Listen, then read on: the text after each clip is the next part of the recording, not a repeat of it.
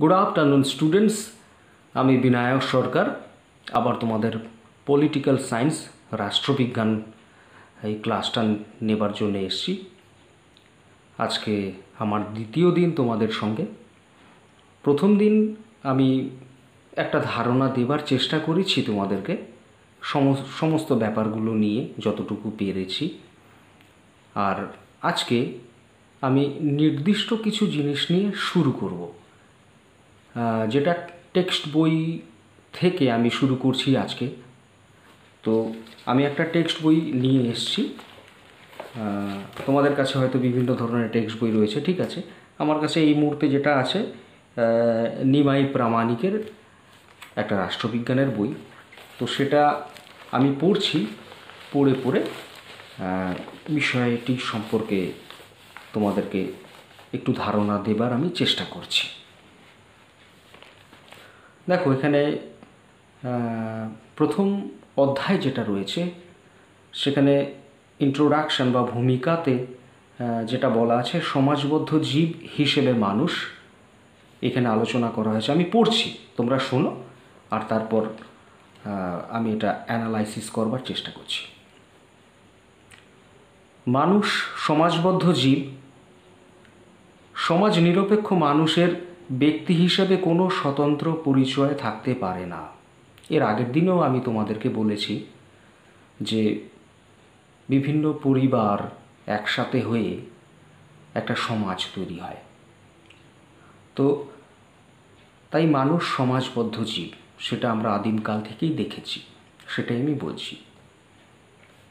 আর সমাজ নিরপেক্ষ মানুষের ব্যক্তি হিসেবে কোনো স্বতন্ত্র পরিচয় থাকতে পারে না। এর মানে হচ্ছে কোনো একটা মানুষ যে সমাজের সঙ্গে যার কোনো সম্পর্ক নেই, অন্য কোনো লোকের সাথে সম্পর্ক নেই বা আমাদের সমাজ ব্যবস্থার নিয়ম কানুনের সাথে তার সম্পর্ক নেই, এইভাবে কিন্তু কোনো মানুষ থাকতে পারে না। স্বতন্ত্র বা স্বাধীন এভাবে কোনো মানুষ কিন্তু থাকতে পারে না। আমাদেরকে কিন্তু সমাজের মধ্যেই থাকতে হবে। সমাজের যে নিয়ম রয়েছে রাষ্ট্র ব্যবস্থার যে নিয়ম রয়েছে, তার মধ্যেই আমাদেরকে থাকতে হবে। এবার দেখো, সেটাই বলেছে। সমাজ বহির্ভূত মানুষের নিঃসঙ্গ জীবন কল্পলোকের বিষয় মাত্র। যে সমাজ ছাড়া কোনো মানুষ আছে, এটা কল্পনা ছাড়া আর কিছু নয়। তাই এটা বলেছে যে কল্পলোকের বিষয় মাত্র। তাই প্রখ্যাত গ্রিক দার্শনিক অ্যারিস্টটল বলেছিলেন, গ্রীসের একজন প্রখ্যাত দার্শনিক অ্যারিস্টটল, তার সম্পর্কে পরে আরেকদিন বলব তিনি বলেছিলেন সমাজ বহির্ভূত ব্যক্তি হয় ভগবান, নয়তো পশু।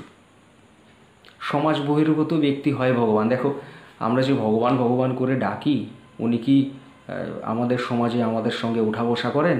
নিশ্চয়ই না। তো তাই বলেছেন, হয় ভগবান আর নয়তো পশু। পশু তো পশুদের আলাদা সমাজ, আমাদের তো মানুষ সমাজের মধ্যে তো আর পশু থাকে না, বনে জঙ্গলে থাকে, তাদের মতো করে আলাদা করে থাকে।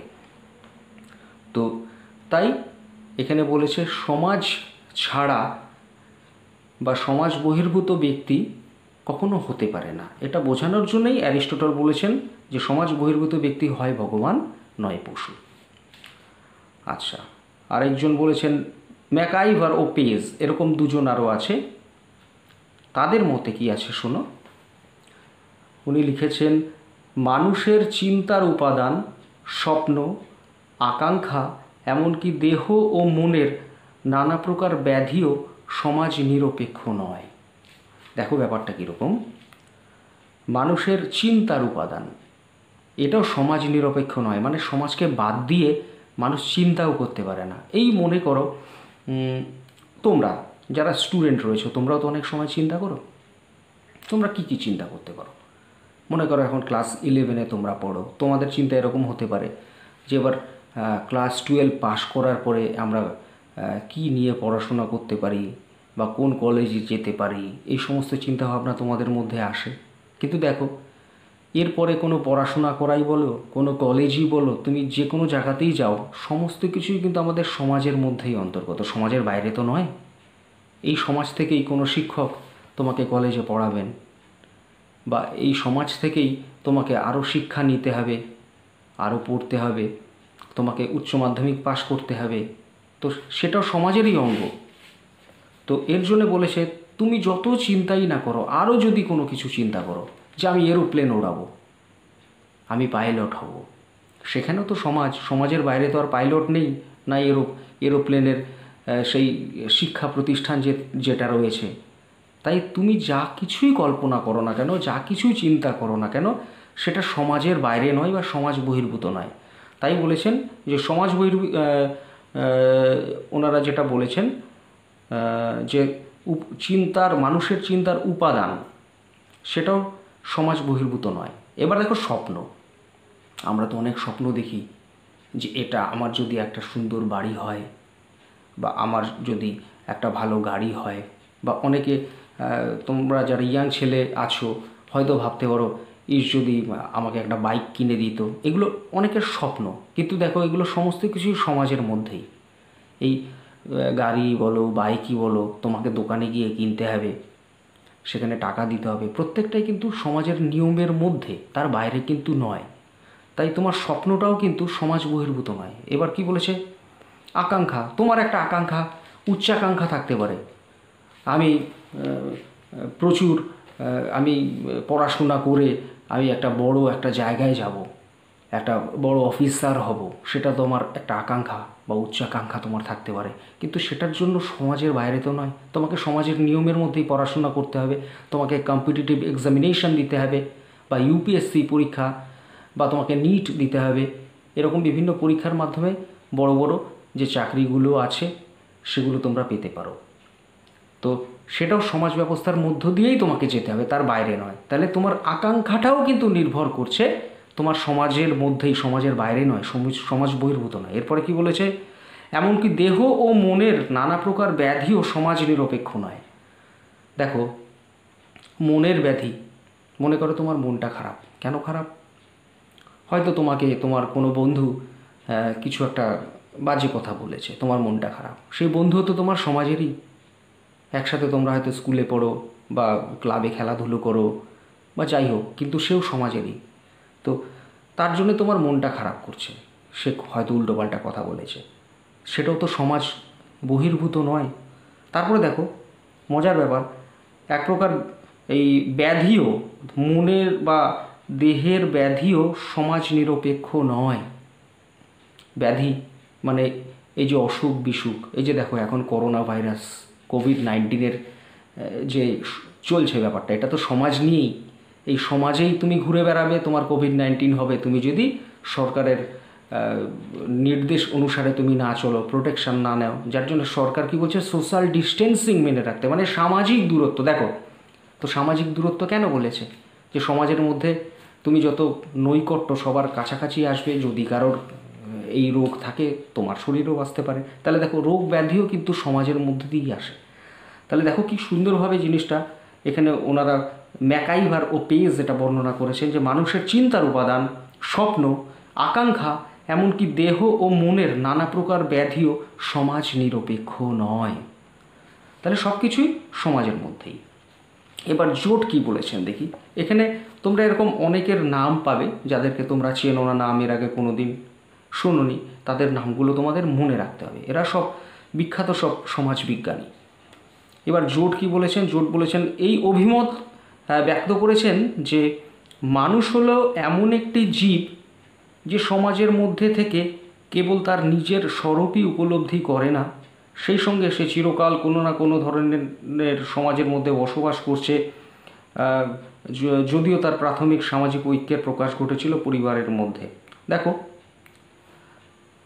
জোটের যে কথাটা রয়েছে যে মানু, স্বরূপ মানে কি? স্ব মানে নিজে আর রূপ, তো রূপ নিজের স্বরূপ মানে নিজের যে রূপটা, চেহারাটা, সেটাই তো স্বরূপ।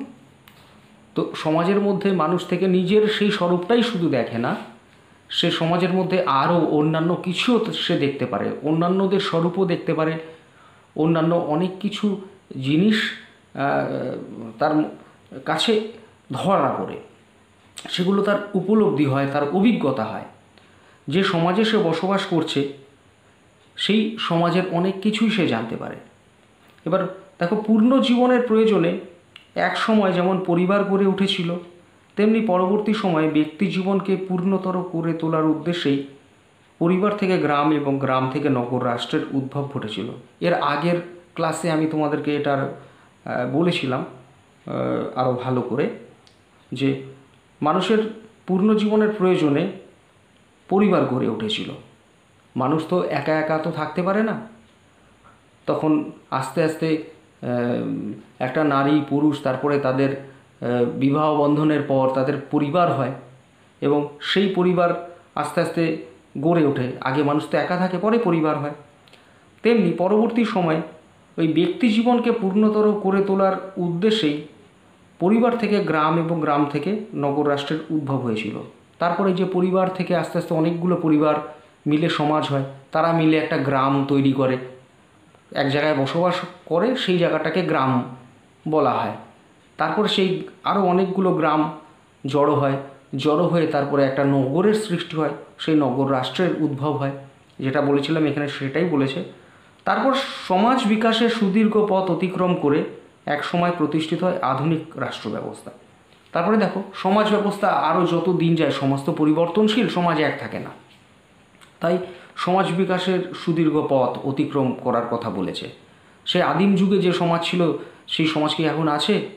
নেই। এখন এর সমাজ পরিবর্তন হয়ে গেছে।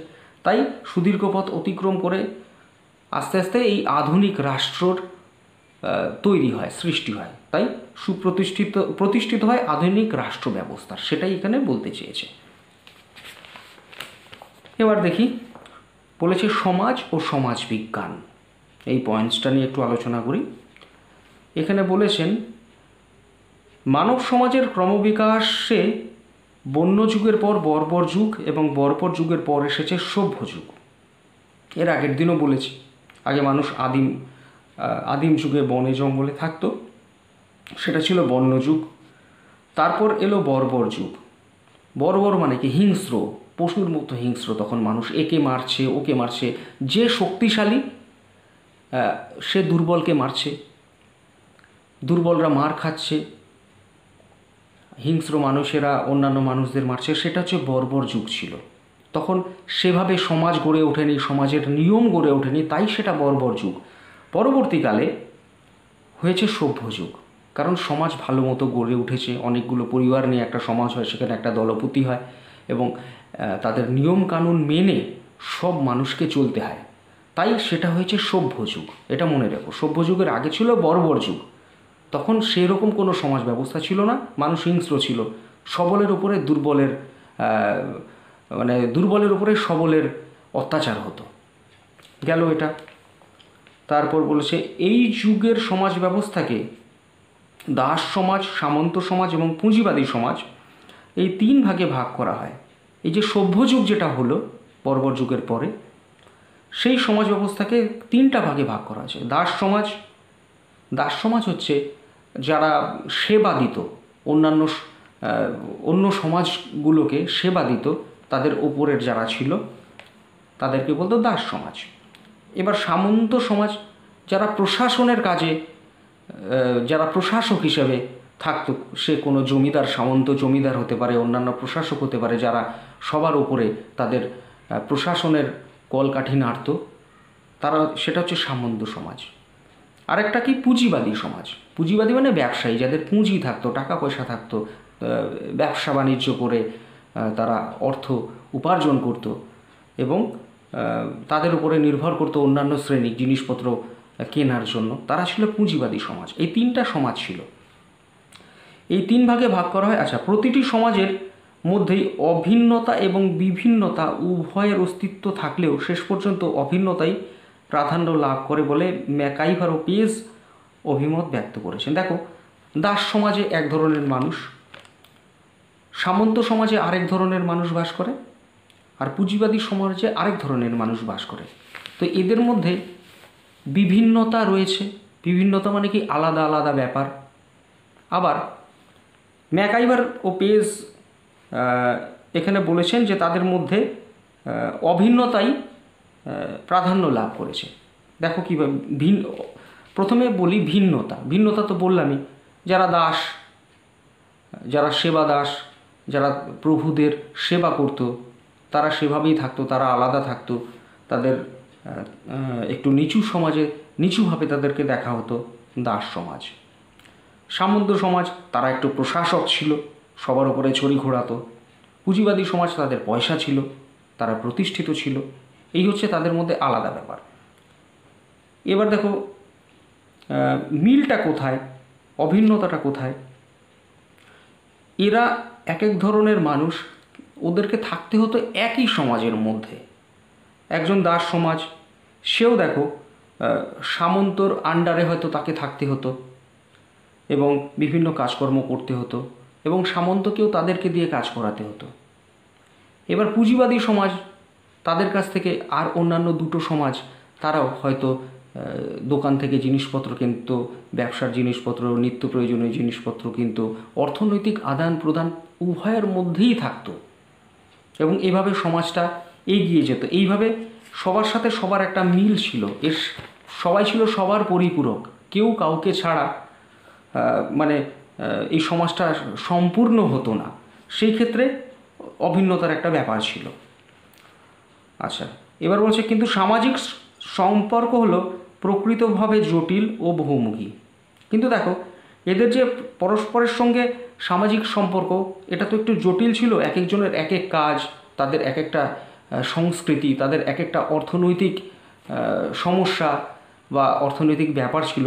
তাই তাদের প্রকৃতিগতভাবে জটিল ও বহুমুখী কিছু ব্যাপারও ছিল। সেটাই এখানে বলেছেন। বিভিন্ন ধরনের সামাজিক সম্পর্কের মধ্যে অর্থনৈতিক, রাজনৈতিক, সাংস্কৃতিক, নৈতিক প্রভৃতির দিক হলো গুরুত্বপূর্ণ। এই যে আমি যেটা বলেছি যে তাদের মধ্যে যে একটা সামাজিক সম্পর্ক ছিল, তিনটা শ্রেণি ছিল, কিন্তু তাদের একটা অর্থনৈতিক সম্পর্ক ছিল। যে অর্থ ছাড়া তো কোনো কিছুই ছিল না কিছু হতো না, কারেন্সি। সবাইকে সেই একই টাকাতে ইয়ে করতে হতো। সাপোজ সামন্ত শ্রেণীকে ট্যাক্স দিতে হতো, মনে করো, কর। সেই কর তো সবাই দিত। তাই অর্থনৈতিকভাবে তাদের সঙ্গে একটা সম্পর্ক যুক্ত ছিল সমস্ত শ্রেণি। এবার দেখো, রাজনৈতিক ব্যাপার। রাজনৈতিক ব্যাপারেও মনে করো কোনো রাজ্য, অপর একটা রাজ্য সেই রাজ্যকে আক্রমণ করল। তখন রাজনৈতিকভাবে সবাই এক হয়ে সেই বিদেশি রাষ্ট্রশক্তির বিরুদ্ধে দাঁড়াতো। দাসেরাও প্রশাসকদের পাশে এসে দাঁড়াতো, পুঁজিপতিরাও প্রশাসকদের পাশে এসে দাঁড়াতো। তাহলে রাজনৈতিকভাবেও তাদের একটা চেতনার বিকাশ ঘটতো এবং সেখানে তাদের মধ্যে একটা সম্পর্ক দেখা দিত। সাংস্কৃতিক, দেখো প্রত্যেকে মনে করো পূজা, অর্চনা, সেই ব্যাপারগুলো যেমন থাকতো ধার্মিক, তার সাথে সাথে প্রত্যেকের গান, বাজনা বা প্রত্যেকের কৃষ্টি কালচার যে ব্যাপারগুলো প্রত্যেকের থাকতো এবং মনে করো সেখানে কেউ হিন্দু থাকতো, কেউ মুসলিম থাকতো কিন্তু তাদের যারা হিন্দু থাকতো, তাদের সাংস্কৃতিক মিলগুলো প্রত্যেকের মধ্যেই থাকতো। সেই তিনটা শ্রেণির মধ্যেই থাকতো। আবার যদি কেউ মুসলিম থাকতো, এই তিনটা শ্রেণির মধ্যে তাদের যে বিভিন্ন সাংস্কৃতিক অনুষ্ঠান হতো বা ধর্মীয় অনুষ্ঠান হতো, সেগুলোর মধ্যেও তাদের তিনটা শ্রেণি আলাদা থাকলেও সেই ব্যাপারে তাদের মিল থাকতো। তাই সাংস্কৃতিকভাবেও তাদের মিল ছিল। এবার নৈতিকভাবেও তাদের একটা সম্পর্ক ছিল, নীতিগতভাবে। তো এই যে ব্যাপারগুলো আছে, সেগুলো কিছু পরস্পরের সঙ্গে সম্পর্কযুক্ত ছিল। এবার বলেছে, দেখো, সমাজের অগ্রগতির সঙ্গে সঙ্গে সামাজিক সম্পর্কের বিভিন্ন দিকের মধ্যে জটিলতা বৃদ্ধি পেতে থাকে। দেখো, যত দিন যায়, সমাজ তো অগ্রসর হয়। আগে মানুষ বনে জঙ্গলে থাকতো, আগে তো বাড়িঘরও ছিল না, তাই সামাজিক বিভিন্ন সমস্যাও তৈরি হয়নি। আস্তে আস্তে বাড়িঘর হলো, মানুষের সম্পদ হলো, যখন কৃষি, মানুষ কৃষক হলো, কারোর বাড়িতে ধানের গোলা কারোর বাড়িতে গমের গোলা, কারোর বাড়িতে সবজি, এ সমস্ত কার কত সম্পদ। তারপরে যখন মানুষ কারেন্সির আবিষ্কার হলো, টাকা, তখন কার কত টাকা আছে, কার বাড়িতে কত সম্পদ আছে, সেই সমস্তর বিভিন্নতা প্রকাশ পেল এবং জটিলতা হলো। তাই এখানে বলেছে যে, যত সমাজ অগ্রগতি হচ্ছে, তত জটিল হচ্ছিল সমস্ত কিছু। তো, সেই সব জটিলতা থেকে সমাজকে মুক্ত করবার উদ্দেশ্যে মানুষের সমাজ জীবনের বিভিন্ন দিকের পর্যালোচনা শুরু হয়। কীভাবে এত জটিল ব্যাপারগুলোকে সহজ করা যায়, তার জন্য বিভিন্ন পর্যালোচনা করা হয়। দেখো, আগে একটা জিনিস হতো যে, তখন তো টাকা পয়সা ছিল না, সেটার আবিষ্কারও হয়নি। মনে করো কারোর দুধ লাগবে আর কারোর চাল লাগবে। এবার যার কাছে চাল আছে, সে দুধওয়ালা গেল, বলল, তুমি আমার দুধটা নিয়ে নাও, আমাকে দু কিলো চাল দাও। সে দু কিলো দুধ নিয়ে দু কিলো চাল দিল। এভাবে বিনিময় প্রথা চলতো। কিন্তু পরবর্তীকালে এটাও ঝামেলা হচ্ছে, যার দুধ আছে তার হয়তো চাল লাগবে না, যার চাল আছে তার হয়তো দুধ লাগবে না। তো তাদের মধ্যে তো এইভাবে হচ্ছে না। তখন আস্তে আস্তে ওই কারেন্সি যেটাকে বলে, টাকা, সেটার আবিষ্কার হলো, যেটা দিয়ে সবাই সব কিছু কিনতে পারে বিনিময় প্রথার মাধ্যমে। তখন এইভাবে বিভিন্ন সলিউশনগুলো বিভিন্ন ক্ষেত্রে তৈরি করা শুরু হলো। এবার দেখো বিভিন্ন বিষয় নিয়ে বিভিন্ন আলোচনা হতো, কিন্তু তাতে জটিলতা বৃদ্ধি পেত। তাই দেখো, বিভিন্ন শাস্ত্রের আবির্ভাব হয়েছে। দেখো ফলে ইতিহাস, অর্থবিদ্যা, সমাজবিদ্যা, দর্শন, রাষ্ট্রবিজ্ঞান, রাজনৈতিক সমাজবিদ্যা এবং প্রভৃতি শাস্ত্রের আবির্ভাব ঘটে।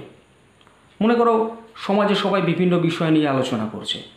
কেউ হয়তো অর্থনৈতিক ব্যাপার নিয়ে আলোচনা করছে, কেউ রাষ্ট্রর ব্যবস্থা নিয়ে আলোচনা করছে কেউ হয়তো সমাজের অবস্থানে ইয়ে করছে আলোচনা করছে। আবার কেউ আবার হয়তো আগে কি অবস্থান ছিল? ইতিহাস, যে আমাদের পূর্ববর্তী জেনারেশন কীভাবে বড় হলো, কীভাবে এটা আবিষ্কার করল, এই সমস্ত নিয়ে আলোচনা করছে। তখন একটা খিচুড়ি হয়ে যেত। তখন ওইভাবে আলোচনাটার একটা সমাধানে আসতো না। তাই বিষয়কে আলাদা করা হলো। বিভিন্ন বিষয়কে আলাদা করে ইতিহাস, অর্থবিদ্যা, সমাজবিজ্ঞান, দর্শন এই সমস্ত তৈরি করা হলো। ফলে বিভিন্ন শাস্ত্রের উদ্ভব হলো। এবার দেখো, এই শাস্ত্রের সমষ্টিকে বলা হয় সমাজবিজ্ঞান। এই যে এতগুলো শাস্ত্র, এগুলো সমষ্টিকে সমষ্টিকে বলা হয় সমাজবিজ্ঞান। কেন? কারণ এই সমস্ত শাস্ত্র কিন্তু সমাজ থেকেই সৃষ্টি হয়েছে। সমাজের বিভিন্ন মানুষ, তাদের বিভিন্ন চিন্তাধারা দিয়ে এক একটা সাবজেক্ট বা এক একটা শাস্ত্র তৈরি করেছিল। কিন্তু তাদের মূল যেটা মাদার সেটা তো সমাজ থেকেই এসেছে ইতিহাসও সমাজের বাইরে নয়। অর্থ, নীতির ব্যাপারটাও সমাজের বাইরে নয়, সমাজের সঙ্গে। তারপর দর্শন, সেটাও সমাজ ছাড়া হয় না। সমস্ত কিছু তো মানুষকে নিয়ে, আর মানুষ ছাড়া তো সমাজ হয় না। তাই সমাজ থাকলে এই বিষয়গুলোও থাকবে। তাই এই লজিকেই সমাজের সঙ্গে এই প্রত্যেকটা বিষয় বা প্রত্যেকটা শাস্ত্র জড়িত। তাই বলেছে, এই সমস্ত শাস্ত্রের সমষ্টিকে বলা হয় সমাজবিজ্ঞান বা সোশ্যাল সায়েন্স আচ্ছা এবার দেখো, রাজনীতি অথবা রাষ্ট্রবিজ্ঞান। এই ব্যাপারটা সম্পর্কে এখানে আলোচনা করেছি আমিও। পড়ছি তোমরা, শোনো। সমাজবিজ্ঞানের অন্যতম গুরুত্বপূর্ণ শাখা হলো রাষ্ট্রবিজ্ঞান পলিটিক্যাল সায়েন্স কিন্তু আমাদের আলোচ্য শাস্ত্রটিকে রাষ্ট্রবিজ্ঞান নামে অভিহিত করা সমীচীন কিনা তা নিয়ে যথেষ্ট মতবিরোধ রয়েছে। যে সমাজবিজ্ঞানের একটা শাখা রাষ্ট্রবিজ্ঞান, যেমন সমাজবিজ্ঞানের এই যে যতগুলো আমি বললাম, সেগুলো এক একটা শাখা, ইতিহাস বলো, অর্থবিদ্যা বলো, তেমনি রাষ্ট্রবিজ্ঞান একটা শাখা, গুরুত্বপূর্ণ শাখা। কিন্তু এই শাস্ত্রটিকে রাষ্ট্রবিজ্ঞানই বলা যায় কি না, সেটা নিয়ে বিরোধ রয়েছে বিভিন্ন রাষ্ট্রবিজ্ঞানীদের মধ্যে, বিভিন্ন সমাজবিজ্ঞানীদের মধ্যে। দেখো এখানে কি কি বলেছে আমি পড়ছি। তাই জেলিকেন মন্তব্য করেছেন, জেলিকেন একজন রাষ্ট্রবিজ্ঞানী। তিনি মন্তব্য করেছেন, রাষ্ট্রবিজ্ঞানের মতো এমন একটিও বিজ্ঞান নেই যার একটি সুন্দর পরিভাষা একান্ত প্রয়োজন। দেখো উনি বলেছেন যে রাষ্ট্রবিজ্ঞ যে রাষ্ট্রবিজ্ঞানের মতো এমন একটিও বিজ্ঞান নেই। রাষ্ট্রবিজ্ঞান একটা বিজ্ঞান, এরকম একটা কোনো বিজ্ঞান নেই যাতে একটি সুন্দর পরিভাষা একান্ত প্রয়োজন। যে এটাকে বোঝানোর জন্য কিছু একটা বিশেষ ব্যাপার বলতেই হবে। সেটাই হচ্ছে পরিভাষা। বিভিন্ন দৃষ্টিকোণ থেকে আলোচনা করবার ফলে আমাদের আলোচ্য শাস্ত্রটিকে ভিন্ন ভিন্ন চিন্তাবিদ ভিন্ন ভিন্ন নামে অভিহিত করেছেন। রাষ্ট্রবিজ্ঞানকে বিভিন্ন দৃষ্টিকোণ থেকে দেখা যায়। এবং তাই এই শাস্ত্রটিকে রাষ্ট্রবিজ্ঞানীরা ভিন্ন ভিন্ন দিক থেকে দেখেছেন এবং অভিহিত করেছেন। যেমন রাজনীতি, রাষ্ট্রবিজ্ঞান ইত্যাদি। Aristotle, Sidgwick, Jellinek, Lowell, Lipson, Laski ও অ্যালান বল, এগুলো অনেকগুলো নাম আছে তোমাদেরকে মুখস্থ করে নিতে হবে। প্রমুখ রাষ্ট্রচিন্তাবিদ ও রাষ্ট্রবিজ্ঞানী, রাষ্ট্রবিজ্ঞানের পরিবর্তে রাজনীতি কথাটির ব্যবহার করেছেন। এই যাদের নাম বললাম, তারা এই শাস্ত্রটাকে রাজনীতি হিসাবেই বলেছেন বা রাজনীতি কথাটি ব্যবহার করেছেন। কিন্তু ব্রাইস, লিলি, সিলি, বার্জেস প্রমুখ রাষ্ট্রবিজ্ঞানী রাজনীতির সঙ্গে রাষ্ট্রবিজ্ঞানের পার্থক্য নির্দেশ করে শেষোক্ত নামটি গ্রহণযোগ্য বলে মনে করেন। তারা রাজনীতির সঙ্গে কিন্তু রাষ্ট্রবিজ্ঞানের একটা পার্থক্য করেছেন। দেখি কি লিখেছে। কেউ কেউ আবার রাজনীতি এবং রাষ্ট্রবিজ্ঞানকে অভিন্ন বলে চিহ্নিত করতে দ্বিধাবোধ করেনি আবার কেউ কেউ রাজনীতি এবং রাষ্ট্রবিজ্ঞানকে বলেছেন অভিন্ন। এরা একই, এর মধ্যে কোনো পার্থক্য নেই। কিন্তু অধ্যাপক গার্নার উভয়ের মধ্যে পার্থক্য নিরূপণ করতে গিয়ে মন্তব্য করেছেন অধ্যাপক গার্নার কি বলেছেন? যে রাষ্ট্রবিজ্ঞান হলো রাষ্ট্রের জীবন ও ঘটনাবলীর সম্পর্কিত জ্ঞান। যে রাষ্ট্রের জীবন ও ঘটনাবলী, একটা রাষ্ট্র কীভাবে তৈরি হলো, তার রাষ্ট্র ব্যবস্থাটা কী কীভাবে চলবে, তার নিয়ম কানুন ইত্যাদি, এগুলাই হচ্ছে যে রাষ্ট্র রাষ্ট্রের জীবন ও ঘটনাবলী। সম্পর্কিত জ্ঞান। এই এই ব্যাপারগুলোর কথা বলেছেন হচ্ছে গিয়ে গার্নার এবং তিনি বলেছেন, রাজনীতি হলো জনগণের সমস্যার প্রশাসন বিষয়ক কার্যাবলীর সমষ্টি। আর তিনি রাজনীতির কথাটা বলেছেন যে, রাষ্ট্রে যে জনগণ থাকে বা সিটিজেন যারা নাগরিক, তাদের তো বিভিন্ন সমস্যা হতে পারে। আজকে রাস্তা নেই আজকে স্কুল নেই, এখানে এখানে হয়তো এটিএম নেই, এখানে ব্যাংক নেই, এই সমস্ত বিভিন্ন সমস্যা বিভিন্ন জায়গার হয়ে থাকে। তাই জনগণ রাজনৈতিক নেতাদেরকে বলেন, তারা তারপরে সেই সমস্যার সমাধান করেন। এরকমই বলেছেন যে, রাজনীতি হলো জনগণের সমস্যার প্রশাসন বিষয়ক কার্যাবলীর সমষ্টি। এই সমস্যাগুলো প্রশাসনের কাছে দেওয়া হয়, প্রশাসনের নজরে আনা হয়। এবং তারপরে যে সলিউশন হয়, তাই বলেছে প্রশাসন বিষয়ক কার্যাবলীর সমষ্টি হচ্ছে রাজনীতি। রাজনীতি না থাকলে এই জিনিসটা হতো না। এবার উনি যেটা বলতে চেয়েছেন যে রাষ্ট্র তো রাজাও চালাতে পারে। সেখানে তো রাজনীতি বা রাজনৈতিক নেতারা থাকেন না। তাই সেটা রাষ্ট্র, রাষ্ট্রের ব্যাপারটা আলাদা, রাষ্ট্রবিজ্ঞানের ব্যাপারটা আলাদা। আর যেখানে রাজনৈতিক নেতা আছে, রাজনীতি রয়েছে, দল রয়েছে সেই ব্যাপারটা হচ্ছে রাজনীতির ব্যাপার।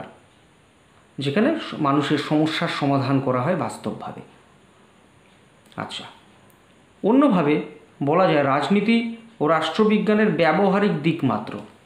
অন্যভাবে যেটা বলা যায় যে রাজনীতি হলো রাষ্ট্রবিজ্ঞানের ব্যবহারিক দিক। যে রাষ্ট্রবিজ্ঞানটা দেখো, আমরা বই, পুস্তকে পড়তে পারি, পড়ে সেটার সম্পর্কে জ্ঞান আহরণ করতে পারি। কিন্তু এটা মানে হাতে ধরা যায় না বা এটা এমনি কিছু বাস্তবভাবে কোনো কাজ করা যায় না, সেটা মাথাতে নিয়ে কাজ করতে হয়। তাই এটার রাষ্ট্রবিজ্ঞানের ব্যবহারিক দিক বা বাস্তব প্রয়োগ যেটা, সেটাকে রাজনীতি বলা হচ্ছে। যে রাজনীতি কারা করে?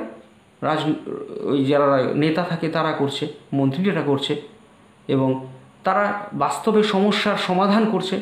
কিন্তু রাষ্ট্রবিজ্ঞান কি বাস্তবে কোনো সমস্যার সমাধান করতে পারছে? না, সেটা বিভিন্ন তত্ত্ব, সেখানে সমস্ত নিয়মকানুন ইত্যাদি থাকছে। তাই রাষ্ট্রবিজ্ঞানের ব্যবহারিক প্রয়োগ বা বাস্তব প্রয়োগ যেটা করছে, তাই হলো রাজনীতি। এটাই হচ্ছে গার্নারের মূল কথা। এবার দেখো, তাই রাজনীতিতে উৎসাহী কোনো ব্যক্তির রাষ্ট্রবিজ্ঞান সম্পর্কে কোনোরূপ আগ্রহ কিংবা জ্ঞান নাও থাকতে পারে। তাই বলেছে যে অনেকে হয়তো রাজনীতি করছে। নেতা হয়েছে এমএলএ হলো এমপি হলো, মিনিস্টার হলো, কিন্তু এমনও হতে পারে তার রাষ্ট্রবিজ্ঞান সম্পর্কে কোনো জ্ঞান নেই। হয়তো সে সেই সাবজেক্টটা কোনো দিন পড়েও নি, অথবা সে সায়েন্সের স্টুডেন্ট আর্টসেরও না। তো তাই বলে সে রাজনীতি করতে পারবে না, তা তো নয়। তাই এখানে বলেছে যে তাই রাজনীতিতে উৎসাহী কোনো ব্যক্তির রাষ্ট্রবিজ্ঞান সম্পর্কে কোনোরূপ আগ্রহ কিংবা জ্ঞান নাও থাকতে পারে। এবার দেখো, এছাড়া বিভিন্ন দেশের রাজনীতির মধ্যে এমনকি একটি দেশের বিভিন্ন রাজনৈতিক দলের মধ্যেও রাজনৈতিক দৃষ্টিভঙ্গির পার্থক্য লক্ষ্য করা যায়। এইবার দেখো আরেকটা জিনিস, যে যারা রাজনীতি করবে এক একটা দেশের রাজনীতি এক এক রকমের। সেই দেশের রাষ্ট্র ব্যবস্থা সেই দেশের জনগণ, সেই দেশের সমাজ, সেই অনুযায়ী তাদের রাজনীতির পরিবর্তন হয়। এক দেশে এক এক ধরনের রাজনীতি বা দলীয় ব্যবস্থাও তুমি বলতে পারো রাজনীতিতে। কোনো দেশে দুদলীয় ব্যবস্থা, কোনো দেশে বহুদলীয় ব্যবস্থা, এগুলো সব রাজনীতির পার্থক্য। এইবার, এমনকি দেশের বিভিন্ন রাজনৈতিক দলের মধ্যেও রাজনৈতিক দৃষ্টিভঙ্গির পার্থক্য লক্ষ্য করা যায়। দেখো, আমাদের দেশে তো বিভিন্ন দল রয়েছে। বিভিন্ন রাজনৈতিক দলের কিন্তু একই দৃষ্টিভঙ্গি নেই। তাদের নীতি আলাদা।